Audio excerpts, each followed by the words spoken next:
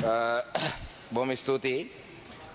ඉස්සෙල්ලාම මගේ කතාව ආරම්භ කිරීමට පෙර පසුගිය මැයි නමවෙනිදා ඝාතනයට ලක් වූ අමර කීර්ති අතකෝරල මන්ත්‍රතුමාටත් එතුමගේ ආරක්ෂක නිලධාරීන්ටත් ඒවගේ මෙදා දවසේදී ප්‍රහාරවලට ලක්වී තුවාල ලැබපු ඝාතනයට ලක් වූ සියලු පවුල්වල සාමාජිකයින්ටත් ඒ වගේම ඒ සියලු පාක්ෂිකයන් ඕන පක්ෂකයේ පාක්ෂිකින් සියලු දෙනාටම ඉස්සෙල්ලාම මගේ ශෝකය මම ප්‍රකාශ කරනවා. ඒ වගේම තමයි එදා ගෝල්ෆේස් ගෝටා ගෝගමටයි මයිනා ගෝගමටයි ඒ කරපු ප්‍රහාරයත් ඉතාමත්ම තරයේ මේ අවස්ථාවේදී හෙලා දකින්න මොකද ඒක රජය විසින් කරපු ප්‍රහාරයක් බව ඉතා පැහැදිලිව රජයේ මන්ත්‍රීවරුන්ම ඇමතිවරුන්ම පිළි අරගෙන තියෙනවා. ඉතින් ඇත්තරම අපි ඒක තමයි අපි ඉසිස්සල්ලාම පහුගේ අඟහරවාදා උදෑසන මේ පාර්ලිමෙන්තුවට මෝෂන් එකක් ගේන්න බැලුවේ මේ සියල්ලටම වග කිය යුතු පුද්ගලයා වන ගෝටාබේ රාජපක්ෂ මහත්මයාට විරුද්ධව එකන අද අපි මේ දැන් හතරවනි දවස මෙතන අඟහරවයි දැන් හතරවනි දවස මේ മന്ത്രിවරුන්ට වෙච්ච සිදුවීම් පිළිබඳව අපි සාකච්ඡා කරනවා. හැබැයි අපි ඒක ඉල්ලුවේ മന്ത്രിවරුන්ට වෙච්ච අසාධාරණය පිළිබඳව ඒ වගේම ලංකාවේ ජනතාවට ගෝල්ෆේස් වල හිටපු සෙනගට ඒ මයිනාගෝගම හිටපු සෙනගට ලංකාව පුරාම ගුටි කාපු මිනිස්සුන්ට මේ ගෝඨාභය රාජපක්ෂ මහත්මයා නිසා මේ ඇතිවිච් එක ගැන දවසක භාගයක් හරි අපි කතා කරලා ඊට පස්සේ മന്ത്രിවරුන්ට වෙච්ච අසාධාරණය ගැන කතා කරමු කියලා අපි ගෙනාපු මෝසම පාර්ලිමේන්තු මන්ත්‍රීවරු මම හිතන්නේ 121 දෙනෙක් එකතු වෙලා එදා ඒක එපා කියලා කිව්වා. ඉතින් ඇත්තටම මතක තියාගන්න ඕනේ මේ മന്ത്രിවරුන් සියලු දෙනාම මේ ප්‍රහාරවලටයි මේ තිබ්බ වයලන්ස් මේ සියලු දෙයටම මුල ගෝටාබේ රාජපක්ෂ මහත්තයා ප්‍රමුඛ ඒ රාජපක්ෂ පවුල මහින්ද රාජපක්ෂ ඒ සියලු දෙනාම තමයි මේකට වග කියන්න කියලා මතක තියාගන්න ඕනේ. ඒ වගේම තමයි අද മന്ത്രിවරු මම දැක්ක පාර්ලිමේන්තුවේ පහුගිය දවස් දෙක තුන තිස්සෙම කියනවා මේ අපි ඇවිල්ලා මේ අමාරුවෙන් හම්බ කරලා හදාගත්ත ගෙවල් අපි මේ අමාරුවෙන් මහන්සි වෙලා ගත්ත ගෙවල් අපි හොරකම් කරලා ගත්ත ගෙවල් නෙමෙයි කියලා කියනවා දැක්කා. ඉතින් ඒක තමයි වෙන්න ඕන. කවුද කොයි മന്ത്രിද හොරකම් කරලා ගෙවල් හදන්න පර්මිෂන් දීලා තියෙන්නේ? മന്ത്രി කෙනෙක් කිව්වම හැම മന്ത്രීම එහෙම තමයි. තමන්ගේ සල්ලි වලින් තමයි ගෙවල් හදා ගන්න ඕනේ. තමන්ගේ සල්ලි වලින් තමයි වාහන ගන්න ඕනේ. මේ හොරකම් කරපු නැති අපි අපි മന്ത്രിවරුන් කියලා මෙතන ඇවිල්ලා ජනතාවට කියන කියන එක ඒක කිසිසේත්ම අපි අනුමත කරන්නේ නැහැ. මොකද മന്ത്രി කෙනෙක් කියන්නේ තමන්ගේ සල්ලි වලින් ගෙවල් හදා ගන්න ඕනේ. එහෙම නැතුව මේ හොරකම් කරලා මේ සල්ලි හදපු නැති අපි හැදුවේ නැහැ කියලා කියන එක ඒක මහ විහිළුවක්. හැබැයි මතක තියාගන්න ඕනේ മന്ത്രിවරුන්ගේ ගෙවල් වලට පහර දුන්නේ හොරකම් නිසා නෙවෙයි. മന്ത്രിවරුන්ගේ ගෙවල් වලට නිවස් වලට පහර දුන්නේ ඕගලන් හොරකම් කරලා ඒ ගෙවල් හදපු නිසා නෙමෙයි. මන්ත්‍රීවරයෙක් කියන්නේ ජනතා නියෝජිතයෙක්. පාර්ලිමේන්තුවට ඔබව මේ මන්ත්‍රීවරයාව ජනතාව එවන්නේ ජනතාවගේ ජනතාව මේ පාර්ලිමේන්තුව තුළ නියෝජනය කරන්න. ජනතාවට හොඳ දේ ජනතාව වෙනුවෙන් මේ පාර්ලිමේන්තුව ඇතුලේ කතා කරන්න තමයි මේ මන්ත්‍රීවරු නෙවන්නේ. හැබැයි මේ මන්ත්‍රීවරු පහුගිය අවුරුදු එකහමාර තුල ඒ ජනතාව දුන්නේ ලොකු වගකීම ඒ ජනතාව දුන්නේ ලොකු වගකීම ඉෂ්ට නොකිරීම නිසා තමයි മന്ത്രിවරුන්ගේ ගෙවල් වලට ඇමතිවරුන්ගේ ගෙවල් වලට වාහන වලට ප්‍රහාර කෙල්ල කරේ. මොකද අපි පැහැදිලිවම පැහැදිලිවම පිළිගන්නනේ മന്ത്രിවරුන්ව පාර්ලිමේන්තුවට එව්වේ ජනතාව නියෝජනය කරන්න මිස රාජපක්ෂ පවුල නියෝජනය කරන්නවත් රාජපක්ෂ පවුලේ කැම්පේන් එක ගෙනියන්නවත් නැත්නම් ශ්‍රී ලංකා පොදු ජන පෙරමුණ ආරක්ෂා කරන්නවත් නෙවෙයි. දැන් බාන අද දිනේෂ් ගුණවර්ධන ඇමතුමා කතා කරද්දී කිව්වා TN එකේ മന്ത്രിවරු දෙන්නෙකුත් බොහොම අමාරුවෙන් ගියේ කියලා. කිසිම අමාරුවකින් නෙමෙයි ගියේ. ඒ മന്ത്രിවරු දෙන්න සටරක පල්ලයට දාපු ගමන් අපි TN එකේ ගමන් පාර ක්ලියර් කරලා දුන්නා යන්න කියලා. ඒ මොකද? දන්නවා අපි දකුණු උතුරු නැගෙනහිර ජනතාව පිළි අපි අපි නියෝජනය කරන ජනතාව ඒක පිළිගත්තත් මම දැන් ට්‍රාන්ස්ලේෂන් එක වැරදිලා ඇති රාසමානික මන්තුමාට සිංහල තේරෙනවා මම සිංහලෙන් කතා කරේ ඔබ ගැන හෝ අද ගැන නෙමෙයි මම කතා කරේ මේ മന്ത്രിවරු දෙදෙනා මේ සභාවේ ඉන්නවා එතුමාලා ඒ කාලේ ජීවිත ආරක්ෂාවට අන්තිමේදී ඉන්දියාවට ගියා. ඔබතුමා පොඩ්ඩයින් නොදන්න දේවල් ඔබතුමා ඉපදිලාද මන් දන්නෙත් නැහැ ඒ කාලේ. ඔබතුමා සමහර විට ඉපදිලත් නැතුව ඇති. ඉතින් අපි മന്ത്രിවරු ඇටියට අපි മന്ത്രിවරු ඇටියට පක්ෂ ගැන බලලා නෙමෙයි කටයුතු කරලා තිබෙන්නේ. හොඳින් කියන්න. ස්තුතියි ද්‍රවිඩ ජාතික සන්ධානයේ මන්ත්‍රීවරුණ සිද්ධාර්ථන් සහ සෙල්වම් මඩකල්නාදන් මන්ත්‍රීවරයෙක් දෙන්න තමයි දා හිටියේ. මම හිතන්නේ ඔබතුමා TNA එකේ මන්ත්‍රීවරුන් කියලා තමයි කිව්වේ. මට ඒක TN එකදී සිංහලෙන් කියන්න බෑනේ TN කියන්නේ ඉංග්‍රීසි අකුරු තුනක්. ඉතින් මට ඉංග්‍රීසිත් තේරෙනවා සිංහලත් තේරෙනවා. හැබැයි ඔබතුමා TNA මන්ත්‍රීවරුන් කියලා කිව්වේ TNA මන්ත්‍රීවරුන්ට එහෙම අපහසුතාවයක් උන්නේ නැහැ කියන එක මම කියන්නේ. හැයි හැබැයි ඔබතුමා ඒත් පොයින්ට් එක මිස් කරා. ඔබතුමා ඒත් මම කියපු ප්‍රධාන කාරණේ මිස් කරා. මම කිව්වේ ඒ TN එකේ මන්ත්‍රීවරුන්ට කවුරුත් ප්‍රහාර එල්ල ගන්න එන්නේ නැත්තේ මොකද අපි ජනතාවත් එක්ක හිට ගන්න නිසා. අපි උතුරු නැගෙනහිර ජීවත් වෙන ජනතාවත් එක්ක හිට ගන්නවා ලංකාවේ සියලු දෙනාත් එක්කම අපි හිට ගන්නවා. ඉතින් ඒක නිසා ජනතාවගේ ප්‍රශ්න කතා කරන മന്ത്രിවරුන්ට මං හිතන්නේ මේ පාර්ලිමේන්තුවේ ආපු කාටවත් ගහලා නැහැ. කාටවත් ගහලා නැහැ. අපේ නසීර් අහමඩ් മന്ത്രിතුමාගේ ගේ ඔෆිස් එකේ එහෙම ගිනි තිබ්බා. ඒත් එතුමා එතුමා ඒ ගත්ත තීරණ නිසා තමයි එහෙම කරේ. එහෙම නැත්නම් එතුමා හොරකම් කරා කියලා ගිනි තිබ්බා කියලා මං හිතන්නේ නැහැ. එතුමා හොරකම් කරාද නැද්ද කියන එක මට අදාළ නැහැ. මම මේක ගැන වාද කරන්නේ නැහැ. හැබැයි එතුමාගේ ගේ ගෙන තිබ්බේ එතුමා ඒ ජනතාව පි- පිළිගත්තේ නැහැ. එතුමා හරිතන හිටගත්ත කියලා. ඉතින් 20 වෙනි සංශෝධනයට අත උස්සලා අද මම දැක්ක උදේ අපේ අ, හිටපු මුදල් ඇමතුමා හිටපු නීතිය පිළිබඳ ඇමතුමා ලොකු කතාවක් කරා. එතුමා 20 වෙනි සංශෝධනය ගේනකොට කොහොමද කතා කරේ? දැන් අද ඒ 20 වෙනි සංශෝධනය එපා කියලා ඒගොල්ලන්ගේ පක්ෂෙම කියන තත්ත්වයට ඇවිල්ලා තියෙනවා.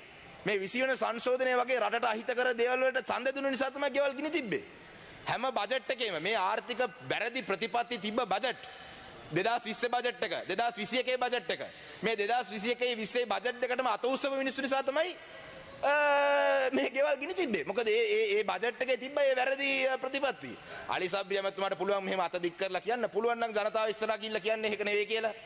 පුළුවන් නම් ජනතාව ඉස්සරහා ගිහිල්ලා කියන්න දැන් මෙහෙම මෙහෙම කරා. පුළුවන් නම් කියලා කියන්නේ මෙහෙම කරලා කරන්න 20 ගෙනාපු එක හරි කියලා කියන්න බෑ. ඒක තමයි මේ ජනතාව ජනතාව පාවා දීම නිසා තමයි. ජනමතයේ පාවා දීම නිසා තමයි මේ දේ ඔයගලන්ට උනේ කියන එක මතක තියාගන්න. හැබැයි අදටත් තාම සමහර മന്ത്രിවරු හැදිලා නැහැ.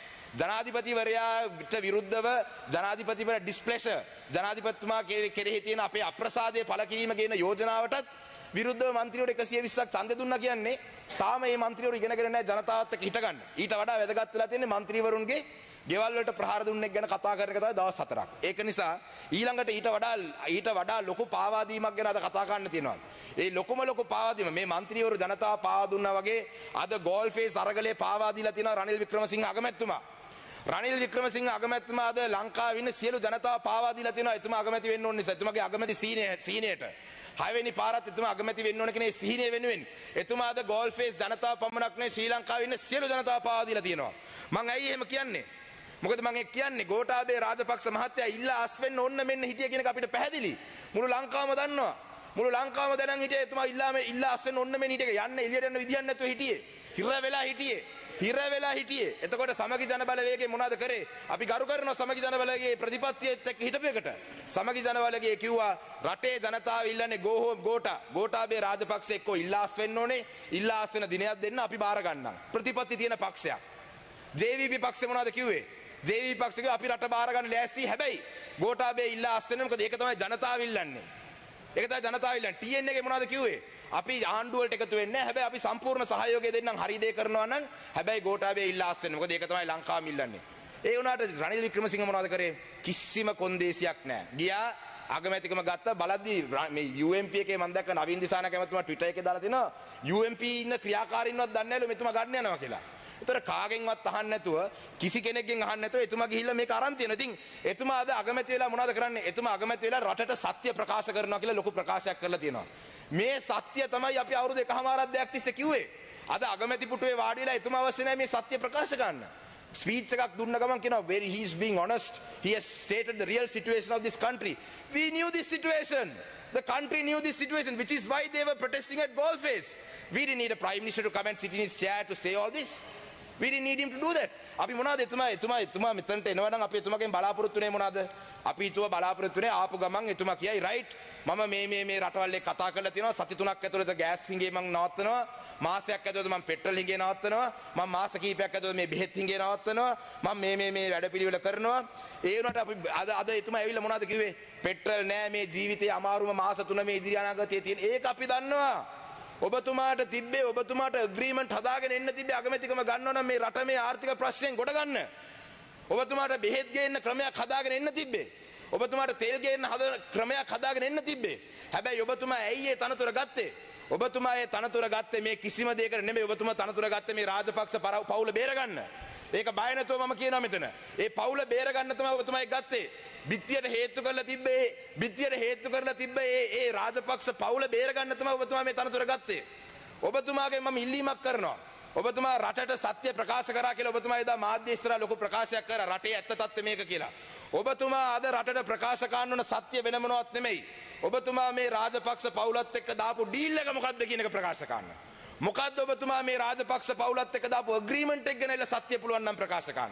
ආර්ථික පිළිබඳ සක්- සත්‍ය අපි සියලු දෙනාම දන්නවා. We all know the state of the economy. We don't need you to come and tell us this. You reveal to us, you be honest to us about the deal that you made with the Rajapaksa family. The deal that you made with the SLPP, you come and you come and tell us what that deal is. Tell the country, tell the world the truth about what you have what you have agreed upon. If you don't want to say that, ඔබතුමා කැමති නැත්නම් ඒක කියන්න මට පුළුවන් ඒ ටික මෙතන කියන්න. පළවෙනි එක තමයි බංකරයක හැංගිලා හිටපු ගෝඨාභය රාජපක්ෂට එළියට එන්න ඔබතුමා අවස්ථාව හදලා දුන්න එක තමයි පළවෙනි ඩීල් එක. නාවික හමුදා කඳවුරක හැංගිලා හිටපු නාමල් රාජපක්ෂ සහ මහින්ද රාජපක්ෂට පාර්ලිමේන්තුවට එන්න අවකාශය හදලා දුන්න එක තමයි ඔබ කරපු දෙවෙනි එක. නියෝජ්‍ය කතානායක ඡන්දයේදී බැසිල් රාජපක්ෂ මහත්තයාට ශ්‍රී ලංකා පොදුජන පෙරමුණ මගේ අතේ තාම තියෙන්නේ කියන එක රටට පෙන්වන්න අවස්ථාව ඔබ හදලා දුන්නේ. මොකද නියෝජ්‍ය කතානායක ඡන්දෙදී ඔබතුමා කිව්වා කාන්තාවක් පත් කරමු කියලා. අපේ රෝහිණි කවිරත්න മന്ത്രിතුමියට අපි තාම ගරු කරනවා. එතුමිය ශ්‍රී ලංකාව වෙනුවෙන් එතුමියගේ නම දැම්ම එතනට. බය නැතුව දැම්මා. එතුමියට අපේ ප්‍රණාමය පුද ගන්න ඕනේ. මොකද බය නැතුව ආවා. ඡන්දයක් ඕන ඡන්දයකට පෙරදුනත් එකයි නැත්නම් මගේ නම දෙන්නම් රට වෙනුවෙන් කියලා අපි අගය කරනවා එතුමිය හැබැයි මොකක්ද අගමැතිතුමා මේ නම ප්‍රොපෝස් කරලා? රටේ ජනතාවටයි පොදු ජන පෙරමුණේ ඔය මේ බය වෙලා හිටපු മന്ത്രിවරුන්ටයි මේ කොන්ෆිඩන්ස් එක දුන්නා බැසිල් රාජපක්ෂ මහත්තයාගේ අතේ තමයි අදටත් පක්ෂේ තියෙන්නේ කියලා. ඒක තමයි එතුමා කරපු තුන්වෙනි එක. එතුමා කරපු තුන්වෙනි එක තමයි ඒක. ඉතින් ඒක නිසා මෙතනින් එහාට තව ගොඩාක් දේවල් තව ගොඩාක් දේවල් අපිට කියන්න පුළුවන් කියන්න තියෙනවා නම් අපිට ආරංචි එතුමා වෙදා ගෲප් මීටින් එකටත් ගත්තේ නැහැ කියලා. ඇත්තද ඒක? එතුමාගේ පාර්ලිමේන්තු එකේ උදේ තිබ්බ ගෲප් මීටින් එකටත් ගත්තේ නැලු රනිල් වික්‍රමසිංහ. අනේ පව්. එක මන්ත්‍රී කෙනෙක් මම හිතන්නේ එයාගේ ගෲප් මීටින් එක තනියෙන් කාමරේ තියාගන්න නැති. පොදු ජන පෙරමුණේ ගෲප් මීටින් එකටත් ගත්තේ නැලු. ඇත්තද බැසිල් රාජපක්ෂ මහත්මයා ඔබතුමා ඉන්නවා එහෙම ගත්තේ නැද්ද එතුමා? ඉතින් අපේ රටේ ජනතාවට ඒක නිසා කියන්නේ ඊට අමතරව එතුමාද දාලා තියෙන ඩීල් ටික තමයි මේ ගෝටා ගෝගම කියන එක බෙදන එක.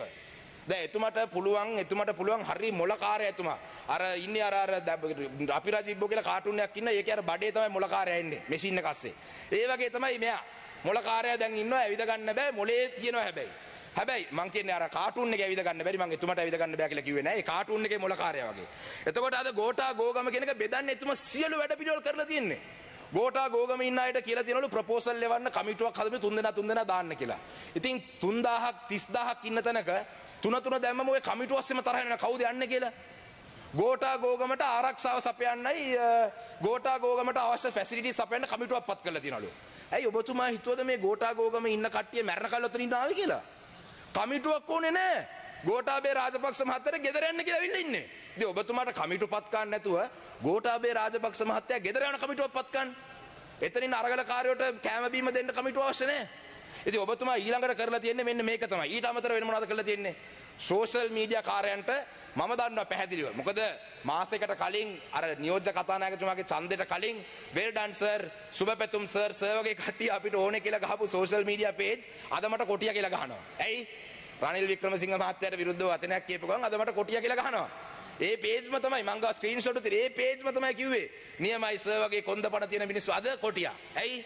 රනිල් වික්‍රමසිංහ මහත්තයාගේ වැරදි අපි එළිය කතා කරනකොට අපි කොටියා. ඉතින් අද ඇත්තට මට එතුමත් එක්ක කිසිම පෞද්ගලික අමනාපයක්වත් එතුමත් එක්ක කිසිම තරහක්වත් නැහැ. මට තියෙන ප්‍රශ්නය මේ ලක්ෂ ගාණක් තරුණ තරුණියෝ කරපු මේ අරගලයේ පාවා දීම. මේ පාවා දීම තමයි මට තියෙන ප්‍රශ්නේ. වෙන කිසිම ප්‍රශ්නයක් නැහැ. මොකද අද එතුමා මේ බ්‍රීදිං ස්පේස් එක අරන් දීලා තියෙන්නේ. වැඩිකල් යන්න කලින් අපේ බැසිල් රාජපක්ෂ මහත්තයා අගමැති වෙයිද දන්නෙත් නැහැ. වැඩිකල් යන්න කලින් අපේ නාමල් රාජපක්ෂ මහත්තයා විපක්ෂ නායකම වෙයිද දන්නෙත් නැහැ. ඉතින් මේ වගේ මොන හරි ඩීල් ටික මම කියන්නේ ඔබතුමා ජාතියට කරපු අවංක ප්‍රකාශය වගේ පුළුවන් නම් ඇවිල්ලා රටට කියන්න ඔබතුමා මොන පදනම මතද මේ තනතුර බාරගත්තේ කියලා ඔබතුමාට කියන්න බෑ. ඒ වගේම තමයි මට කොළඹ මහනගර සභාවේ සමහර මන්ත්‍රීවරු කිව්වා මේ ගෝටා ගෝහෝ මර්ගලට අපිට යන්න එපා කියලාත් කියලා තියෙනවා කියලා. ඉතින් ඒ වගේ පහත් වැඩ කරන්න එපා. ඒ තරුණ මේ මන්ත්‍රීවරුන්ට ඒ අවකාශය ලබා දෙන්න. මේ මන්ත්‍රීවරුන් ගෝටා ගෝහමට ගියොත් එහෙම UMP එකේ තියෙන ඒ තනතුරු නැති වෙයි කියලාත් කියලා තියෙනවා කියලා අපිට ආරංචි මාර්ග තියෙනවා. ඒ වගේම තමයි ශ්‍රී ලංකාවේ සමහර ජනතාව ඉන්නවා රනිල් වික්‍රමසිංහ මහා මොලකරු. මං කියන්නේ මේ කොළඹ හතේ වෙන්න පුළුවන්. කොළඹ වටින ජනතාව වෙන්න පුළුවන් රනිල් වික්‍රමසිංහ මේ හෙන්න බැඩ්ඩෙක්. එයාට පුළුවන් ඕන දෙයක් කරකවන්න. එයා ලොකු මොලකාරයෙක්. එයාට විතරයි මේ කරකවන්න කියලා කියන් ඉන්න මිනිස්සුගෙන් මම ප්‍රශ්න කීපයක් අහන්න කැමතියි. පළවෙනි ප්‍රශ්නේ තමයි අද මෙතන ඉන්නේ ප්‍රශ්නෙට කලින් පළවෙනි එකක් කියන්න ඕනේ. අද මෙතන ඉන්නේ තනි රනිල් වික්‍රමසිංහ. පහුගිය කාලේ එතුමා හිටියා වගේ ලංකාවේ පැරණිම පක්ෂයේ නායකයා മന്ത്രിවරු 90ක් 100ක් ඉන්න පක්ෂයක නායකයෙක් නෙවෙයි අද ඉන්නේ. අද ඉන්නේ ගෝඨාභය රාජපක්ෂ මහත්තයාගේ හිරකරුවා ඉන්නේ. ශ්‍රී ලංකා පොදු ජන පෙරමුණේ හිරකරුවා ඉන්නේ අද. මේ රනිල් වික්‍රමසිංහ ඉස්සරහට රනිල් වික්‍රමසිංහ නෙවෙයි. එක മന്ത്രി කෙනෙක්වත් නැහැ යාට. ඔබතුමාලා හිතනවාද මේ අද රනිල් වික්‍රමසිංහ ඔළුවේ තියන් නටන මිනිස්සුගෙන් මං අහන්නේ ඔබතුමාලා හිතනවාද එතුමා හෙට පනතක් ගෙනාවොත් එහෙම මේ SLPP ආණ්ඩුවට විරුද්ධව ඔය මන්ත්‍රීවරු 113 ඕකට සපෝට් කරයි කියලා සපෝට් කරන්නේ නැහැ. සපෝට් කරන්නේ නැහැ. මන්ත්‍රීතුමා පස්සේ කතා කරන්න මගේ කාලේ නාස්ති ගන්න එපා. එකසිය දහතුන සපෝට් කරයි කියලා හිතනවාද? මම හිතන්නේ නෑ සපෝට් කරයි කියලා. කිසි සේත්ම සපෝට් කන ඇති මම අනිවාර්යෙන් කරුණා කරලා අපි පහුගිය කාලේ අපේ ඇවිල්ලා දේශපාලන සිරකරුව නිදහස් කරන්න කියලා තමයි වැඩිපුර ඉල්ලුවේ. හැබැයි මම මේ අවස්ථාවේ ඉල්ලනවා මේ ලබන පොසොන් එකට පුළුවන් නම් ගෝඨාභය රාජපක්ෂ මහත්තයාට මේ රනිල් වික්‍රමසිංහ කියන හිරකරුවට නිදහස දෙන්න කියලා. මොකද රට වෙනුවෙන් මෙච්චර කාලේ අපි ඉල්ලුවේ දේශපාලන සිරකරුවන්ට. දැන් මේ අලුත් එක්කෙනෙකුත් ඉන්නවා හිරකරුවෙක්. පොදු ජන පෙරමුණේ හිරකරුවා. ගෝඨාභය රාජපක්ෂ හිරකරුවා. පුළුවන් නම් එතුමට මේ පොසොන් එක වෙන්න කලින් නිදහස දෙන්න. මොකද මේ රට වෙනුවෙන් අපි මේ ඉල්ලීම කරන්නේ. එතුමට පුළුවන්ද එතුමට පුළුවන්ද මේ හොරු අල්ලන්න? මොකද අද රටේ ජනතාව ඉල්ලන්නේ මොකද හොරගම් කරපු සල්ලි ගේන්න. හොරගම් කරපු සල්ලි ගේන්න. හොරගම් කරපු සල්ලි හොරු අල්ලන්න පුළුවන්ද? අපි දැක්ක වාලුකාරාම පන්සලට එතුමා ගිහිල්ලා දිවුරුම් දුන්නාන් පස්සේ ආශිර්වාද ගන්න යනකොට එතුමාගේ එහා පැත්තේ හිටියා දයාගමගේ කියලා හිටපු ඇමති කෙනෙක්. මම පහුගිය සතියේ කෝප් කමිටුවට ගියාම කෝප් කමිටුවේ මහජන බැංකුවේ ඔඩිට් එක අවිල්ලා තිබ්බා. මහජන බැංකුවේ වැඩිපුරම බෝල් ණය තියෙන කම්පනීස් 10 දෙනාගෙන් හතරවෙනියට ඉන්නේ හරි පස්වෙනියට ඉන්නේ දයාගමගේ මහත්තයාගේ කම්පනියක්. බිලියන 3.5ක් අවුරුදු 5කින් රුපියලක්වත් ගෙවලා නැහැ. ඉතින් එතුමට ඇසට් තියෙනවා. අද රනිල් වික්‍රමසිංහ මහත්තයා කියන අත්‍යවශ්‍ය බෙහෙත් ගේන බිලියන 3.2ක් රුපියල් ඕනේ කියලා. අනේ දෙයියනේ ඔබතුමාගේ යාළුවාට කියන්න චොපර් ටිකයි ඔය මේ ටික විකුණලා දෙන්න කියලා සල්ලි රටට. බෝල් ණය. ඉතින් හිතනවාද රාජපක්ෂ ආණ්ඩුවේ ඉන්නකොටම දයාගමගේ මහත්තයා මහජන බැංකුවට රුපියලක් ගෙවලා නැත්නම් දැන් රනිල් වික්‍රමසිංහ මහත්තයා ඉන්නකොට ගෙවයි කියලා. ඉතින් ඒ වගේ මිනිස්සෙක් කොහොමද හොරු අල්ලන්නේ? හොරු අල්ලන්න පුළුවන්ද? මොකද රටේ ජනතාව අද ඉල්ලන්නේ හොරු අල්ලන්න කියලා. ඊට අමතරව එතුමට පුළුවන් ද මහ බැංකුවේ කරපේ මංකොල්ලේ පරික්ෂා කරන්න? එතුමටනේ ඇඟිල්ල දික් වෙන්නේ. ඒ ලංකාවේ සල්ලිනේ ඒ අවශ්‍ය සල්ලිනේ. එතුමට පුළුවන් ද ඒ සල්ලි ටික ආපහු ගේන්න? එතුමට පුළුවන් ද මේ නිදොස් කොට නිදහස් කරපු මේ සියලු කේසස් ටික ආයේ පටන් ගන්න පුළුවන්ද? එතුමට පුළුවන්ද කියන්න? මං කියන්නේ ඇයි? බෑ. මොකද ඒව කරන්න ගියොත් එහෙම මේ 113 සහය නැති වෙනවා එතුමා ගෙදර යනවා. ඒක තමයි වෙන්නේ. ඒක නිසා එතුමාට කරන්න බෑ. පාස්කු ප්‍රහාරයේ ඒ පාස්කු ප්‍රහාරයේ පවුල් වල මිනිස්සුන්ට සාධාරණයක් එතුමාට ඉෂ්ට කරන්න පුළුවන්ද? එතුමාට කරන්න බෑ. එතුමා මගෙන් මේ ඊයේ පෙරේද ඇහුවා අනේ සර් අර රෝහිත රාජපක්ෂ ආපුවර රොකට් එකට මොකද දන්නේ නැහැ සර් උනේ ඒ සල්ලිත් මේ රනිල් වික්‍රමසිංහ හොයයිද දන්නේ නැහැ කියලා.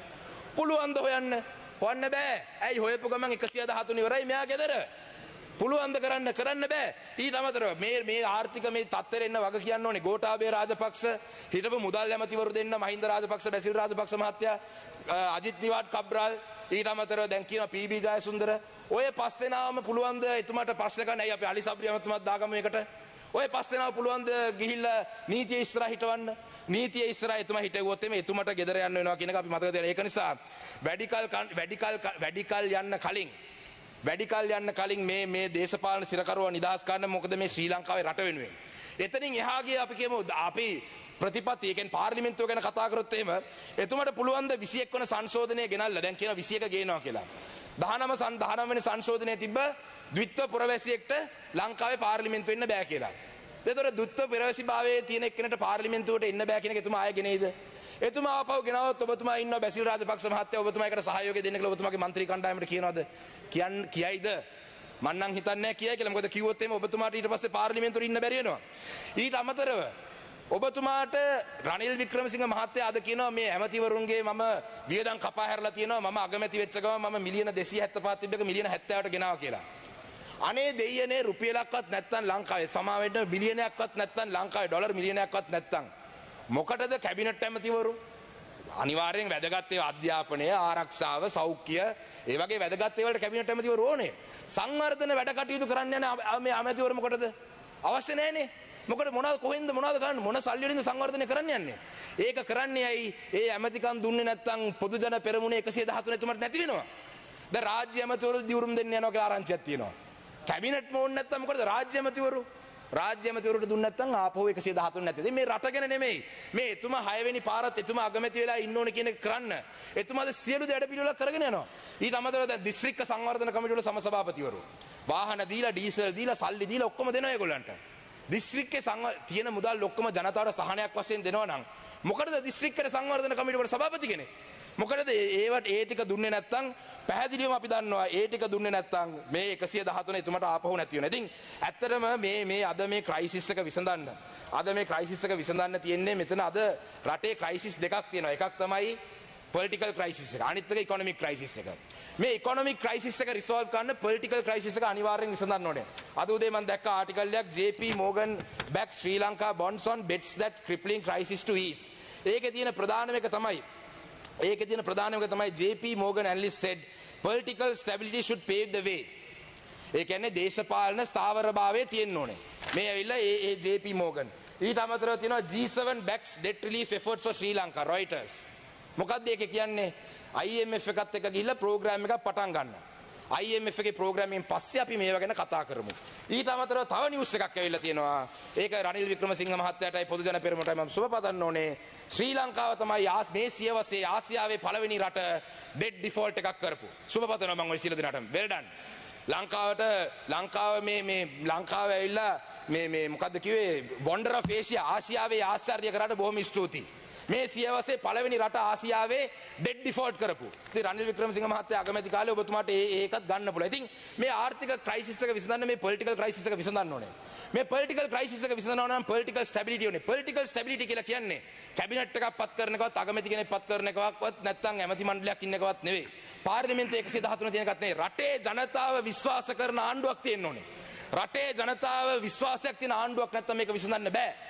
අපි මේ කඩාක අපි ද්‍රවිඩ ජාතික සන්ධානය අපි හැම අවස්ථාවකදම මේක අපි කඩාකප්පල් කරන කිසිම දෙයක් කරන්නේ නැහැ. හැබැයි අපි හොඳ දේවල් වලට අපි අපි සහයෝගය දෙනවා කියලාත් අපි කියලා තියෙනවා. ඒ කියන්නේ හොඳ වැඩපිළිවෙලකට අපි සහයෝගය දෙනවා කියලාත් කියලා තියෙනවා.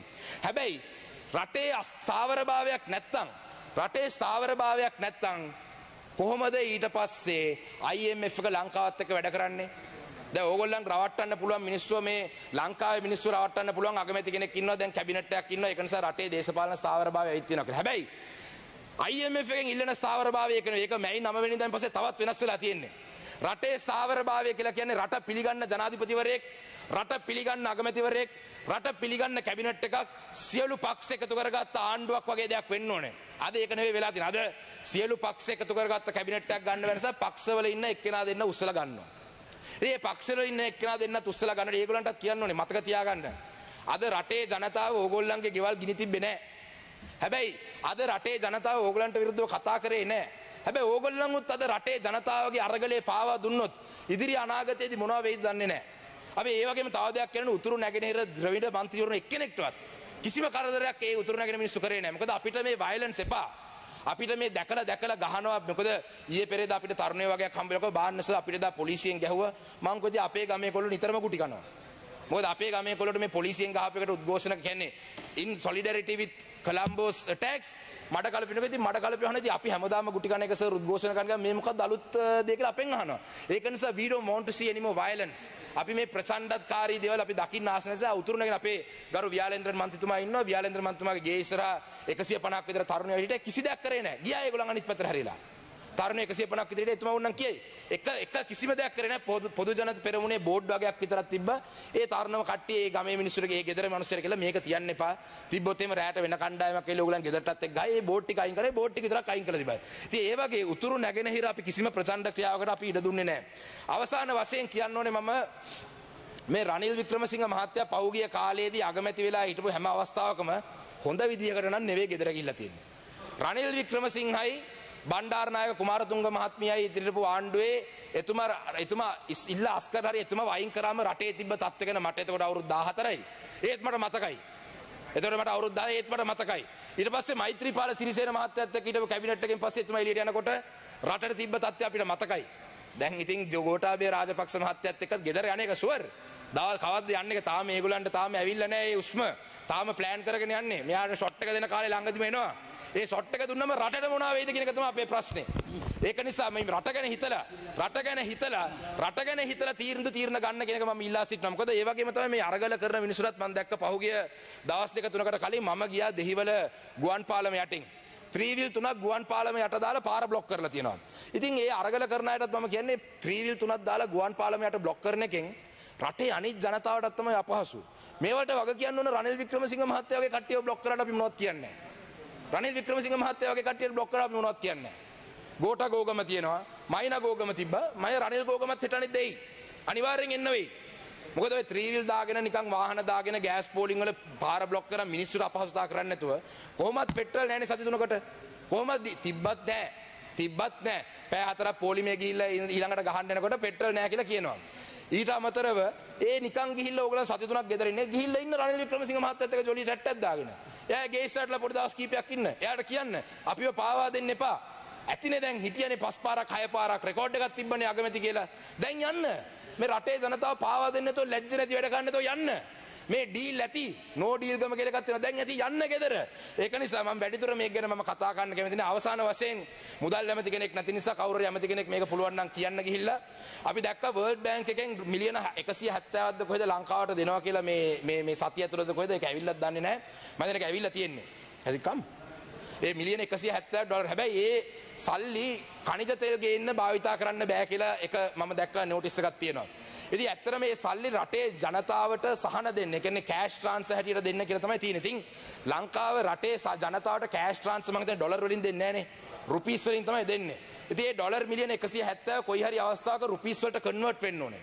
ඒතර ඒ ඩොලර් මිලියන 170 පුළුවන් නම් රජයට යම් ක්‍රමවේදයකින් ඒක පෙට්‍රෝලියම් හරි ලංකාවට අවශ්‍ය බෙහෙත් හරි කෑමවලට හරි ඒ ඩොලර් මිලියන 170 පුළුවන් නම් භාවිතා කරන ක්‍රමවේදයක් හදාගන්න කියලා ඉල්ලීමක් කරනවා. නැත්නම් අපි දැක්ක පහුගිය කාලේ ඉන්දියන් ක්‍රෙඩිට් ලයින් එකෙන් ගෙනා වගේ කවුරු හරි ව්‍යාපාරේ කම්බි ගෙන ඊයකටත් කම්බි ගෙනල්ලි වල මම කන්ස්ට්‍රක්ෂන් වැඩ බලගෑ පටන් ඒක නිසා ඒක ගැනත් හොයලා බලන්න කියලා මම ඉල්ලා සිටිනවා. දෙවනුව තමයි ඊ타මත්ම ඉතාමත්ම වැදගත් දෙයක් කියන්න ඕනේ මේ අවස්ථාවේදී. මේ කොළඹ ටෙලිග්‍රාෆ් නිවුස් පේපර් එකේ මම දැක්ක ආටිකල් එකක්. ඒක මැයි 18 වෙනිදා ලියලා තියෙන්නේ Gota's goon blasts chief justice. AG refuses to file contempt charges. Now this is a very serious case. I'll read out the first section. Major General Jagat Talvis, another lackey of the Rajapaksha, Gotabe Rajapaksha, who was appointed secretary of the Ministry of ඒ ලැකි රාජපක්ෂ කියලා මම කිව්වේ මේ ආටිකල් එක තිබෙන්නේ Major General Jagat Talvi, Secretary of the Ministry of Public Security, slammed the judiciary in a high-handed letter addressed to Chief Justice Jayanta Jayasurya, accusing lower court judges of being responsible for the violence that unfolded in Sri Lanka. After SLPP-led mobs attacked peaceful ප්‍රටෙස්ටර්ස් at golf face on May 9 මේ ගෝඨාභය මහත්තයා appoint කරපු මේ ජගත් තල්විස් කියන ලේකම් ලියලා තියෙන්නේ SLPP led mobs attack කරගෙන රටේ ජනතාව අහගන්න. Rather than investigating and prosecuting the suspect, as advised by the highest court in the land, Rajaratnam, Rajaratnam instead colluded with the suspect against the victims of victims to shield Alvis from prosecution. දැන් ඒ කියන්නේ මේ රටේ ජගත් අල්විස් කියන secretary to ministry of public security ලංකාවේ තියෙන ඉතාමත්ම උඩම තැන ලංකාවේ තියෙන ශ්‍රේෂ්ඨාධිකරණයට ඒ කියන්නේ ජුඩිෂරි එකට චීෆ් ජස්ටිස්ට අග්‍ර විනිශ්චුරුට ජයන්ත ජයසූරිය ලියුමක් ලියලා තියෙනවා මේ උසාවිවල ඉන්න ජජස්ලා කරපු වැරද්දෙන් තමයි මේ මොබ්ස්ලා නවත්තන්න බැරි වුණේ කියලා. එතකොට හයි හෑන්ඩඩ් ඩේටා. ඒ කියන්නේ දරුණු ලියුමක් ලියලා තියෙනවා. එතකොට දැන් අපි දන්නවා රංජන් රාමනායක වගේ මිනිස්සු මේ කන්ටෙම්ප්ට් ඔෆ් කෝට් වලට අද හිරේ ඉන්නවා. එතකොට මෙතුමට මේ ලියපු ලියුමට මේ මේ ආටිකල් එක අනුව තියෙන රාජරත්නම් ඉන්ස්ටෙඩ් රාජරත්නම් කියන්නේ මං හිතන්නේ අටර්නි ජෙනරල්. එතකොට රාජරත්නම් කියනවලු මේකට අපි මේක සමාදානෙන් විසඳගමු කියලා. ඉතින් ඒක නිසා ජස්ටිස් මිනිස් හිටපු ජස්ටිස් මිනිස්ටර්ත් ඉන්නවා. පුළුවන් නම් ඔබතුමා ඔබතුමා ඊළඟට ඔබතුමාත් දන්නේ ආපහු ජස්ටිස් මිනිස්ටර්. ඉතින් ඔබතුමාත් uh, ප්‍රෙසිඩන්ට්ස් කවුන්සිල් කෙනෙක් වශයෙන් මේ අසාධාරණ පිළිබඳව මේ මේ මේ ඩබල් ස්ටෑන්ඩඩ්ස් පිළිබඳව පොඩ්ඩක් හොයලා බලන්න. එහෙම දෙයක් සිදු වෙලා තියෙනවා නම් මේ ජගත් අල්විස්ට විරුද්ධව කන්ටෙම්ප්ට් ඔෆ් කෝට් චාර්ජස් දාන්න ඕනේ. එහෙම නැත්තම් මේක ඇත්ත නම් මේක ඇත්තනම් අපි දකිනවා BA මොනවද බාර් ඇසෝසියේෂන් එකෙන් හැමදේටම කතා කර කර යනවා. මේකටත් පුළුවන් නම් ඇක්ෂන් එකක් ගන්න. බාර් ඇසෝසියේෂන් එක ගිහිල්ලා මේ ගිහිල්ලා මේ മന്ത്രി මේ තරුණ තරුණයන් අරස් කරාම ගිහිල්ලා කරා වගේ මේ රටේ ඉතාලම උඩම තැන. ඉතින් බාර් ඇසෝසියේෂන් එකේ ඉන්න කට්ටියත් මේක ගැන හොයලා බලන්න කියන ඉල්ලීම මම මේ අවස්ථාවේ කරන්න ඕනේ. ඒ වගේම තමයි තව දෙයක් තියෙනවා මේ මාධ්‍ය නිදහස ලබා දෙනවා මාධ්‍ය ගැන ඔක්කොම කතා කරපු මේ අගමැතිතුමා මේ පහුගිය දවස්වල අපි දැක්කා මේ මාධ්‍ය වේදීන්ට මේ මේ පාලිමන්ට ඇතුලේ පහර දුන්නා කියලා. ඒ වගේම තමයි ඊයේ දවසේදී මම දැක්කා ඊයේ හරි පෙර ඊයේ දවසේ මම හිතන දැක්කා කෙහෙලිය රඹුක්වැල්ල අලුතෙන් පත්වෙච්ච මේ සෞඛ්‍ය ඇමතුමා පව් අර හිටපු ඇමතුමාට මාසයයි. මේ අලුතෙන් පත්වෙච්ච සෞඛ්‍ය ඇමතුමාට මේ කියලා තියෙනවා මේ මංජුල බස්නායක කියන නම කියලා. නිවස් සෙන්ටර් කරන මංජුල බස්නායක දාලා තියෙනවා මේ අමරකීර්ති අතකෝරල මහත්මයාගේ සුයිසයිඩ් එකක් කියලා. එතුමා එතුමගේ මම මෙතන මගේ තියෙන මංජුල බස්නායකගේ Facebook පිටුවේ තියෙන ගිණුම මම ඒ වගේ මම කියපු අනිත් නිවුසුත් මම මේ සභාගත කරන්නම් මේකේ තියෙනවා එතුමා කරලා තියෙන්නේ ඒ වෙලාවේ එතුමා විතරක් නෙවෙයි ලංකාවේ ඉන්න ලංකාවේ ඉන්න සියලුම මාධ්‍ය ආයතන ඔව් කතා නැගත Your time is over. Okay sir I'm finishing just one minute. Huh? Okay. ලංකාවේ ඉන්න මේ මාධ්‍යවේදයාට මේ මාධ්‍යවේදය මේ දාලා තියන්නේ අනිත් නිියස් පත්තරලත් ගියප එක. ඉතින් එතුමා විතරක් තනි කරලා මේ පාර්ලිමෙන්තුවේ කියප එක ඉතාමත්ම තරය හෙලා දකින්න එතුමා ඒක ඒක පිළිබඳ රටේ ජනතාව නැවත පැහැදිලි කිරීමක් කරනවා. මොකද මංජුල බස්නායක කියන්නේ මාධ්‍යවේදියෙක්. එක මාධ්‍යවේදියෙක්. ඒ මාධ්‍යවේදියා දිගින් දිගටම නිවුස් හැමදේක්ම රිපෝට් කරන මාධ්‍යවේදියෙක්. ඉතින් ඒ මාධ්‍යවේදියා මෙහෙම දෙකක් දැම්ම කියන එක පෞද්ගලික සිංගල් අවුට් කරලා කරාම අද රටේ තියෙන මිනිස්සු ඉන්න තරහත් එක්ක අනිවාර්යයෙන්ම පොදු ජන පෙරමුණේ තග්ස්ලත් ඇතිනේ. තග්ස්ලා ඇතිනේ. තග්ස්ලා ගිහිල්ලා ඊට පස්සේ මංජුල බස්නායක ගෙදරට හරි පහර දුන්නොත්. ඒක ඉතාම බැරෑරුම් ප්‍රකාශයක්. මොකද මේක එතුමා එතුමා විතරක් නෙවෙයි. මේක එතුමා අනිත් සියලුම මාධ්‍ය දාපු ගත්තම එතුමාද මේක නිසා තනියේ එතුමාගේ නම විතරක් කියප එක ඉතාමත්ම වැරදි. මේක මාධ්‍ය මර්ධනය කිරීමක්. එතුමාට එතුමා ආයේ බය නැතුව කොහොමද ආටිකල් එකක් ලියන්නේ? පාර්ලිමේන්තුවේ සිංගල් හෑන්ඩඩ්ලි එතුමාගේ නම කිව්වම කොහොමද දාන්නේ? මොකද එතුමාගේ ඒ අමරකීර්ති අතුකෝරල මහත්මයාගේ භාර්යාවත් එතුමාගේ එතිමියගේ ප්‍රකාශයේ පොලිසියට කටුතර දෙන්නේ පළවෙනියට අපිට නිවුස් එකාවේ සුයිසයිඩ් එකක් කියලා තමයි කියලා කියලා තියෙනවා. ඉතින් ඒක නිසා මේ මංජුල බස්නායක විතරක් සිංගල් අවුට් කරපු එක අපි තාම තරය හෙලා දකිනවා. விருதியாக இன்று வடக்கு கிழக்கு வாழும் தமிழ் பேசும் மக்கள் இன்று பார் பார்த்து கொண்டிருப்பாங்கள் ஏன் சாணக்கியன் அவர்கள் ரணில் விக்ரமசிங்க அவர்களை இவ்வளவு தாக்குறார் என்று ரணில் விக்ரமசிங்க அவரை தாக்குறதுக்கான காரணம் கடந்த காலத்திலே ரெண்டாயிரத்தி பதினஞ்சு தொடக்கம் பத்தொன்பது வரைக்கும் இருந்த ரணில் விக்ரமசிங்க வேறு தொண்ணூறு எம்பி மேல் இருந்தவங்க அவர் கட்சியினுடைய தலைவர் இன்று அவர் ஒரு கைதி கோட்டாபே ராஜபக்சவுடைய கைதி ஒரு புனை கைதியாக இருக்கிறார். அவர் ஒரு அரசியல் கைதி. நாங்கள் கடந்த காலத்திலே நாங்கள் கேட்டது போல எங்களுடைய தமிழ் அரசியல் கைதிகளை விடுதலை செய்ய சொன்ன தமிழ் அரசியல் கைதியை போல அல்ல இவர் ஒரு கேவலமான கைதி. இந்த கைதியை விடுதலை செய்ய சொல்லி நாங்கள் கேட்டிருக்கிறோம். என்றால் இன்று ரணில் விக்ரமசிங்கவால இந்த நாட்டை கட்டியெழுப்ப முடியாது. அவர் இந்த ராஜபக்ச குடும்பத்தினரை காப்பாற்றுவதற்காக தந்திருக்கிற கான்ட்ராக்ட் கடந்த காலத்திலே அவருக்கு தொண்ணூறு எம்பி மேல இருந்தவங்க. இன்று ஒரு தனி ஒரு எம்பி அவர் இந்த ராஜபக்ச குடும்பத்தை காப்பாற்றுவதற்கு தான் இந்த இன்று இந்த பிரதமர் பதவியை வைத்துக் கொண்டிருக்கிறார். கனகாலத்துக்கு அவர் இந்த பதவியில இருக்க மாட்டார். இந்த இந்த ரணில் விக்ரமசிங்கவுடைய இன்று இருக்கிறாங்க கிழக்கு மாநிலத்தை சேர்ந்த பாராளுமன்ற உறுப்பினர்கள். இந்த ரணில் விக்ரமசிங்குடைய ஆட்சியிலே நீங்க அமைச்சு பதவியில் எடுத்தீங்கன்னு சொன்னால் நான் கடந்த காலத்தையும் சொன்னான் அமைச்சு பதவியில் நீண்ட காலம் இருக்காது. வரலாற்றிலே ஆகக்குரிய காலம் அமைச்சு பதவியில் வைத்தவர்களாக இருப்பீங்கள் என்று அதுதான் மீண்டும் சொல்றேன். நன்றி. Thank you.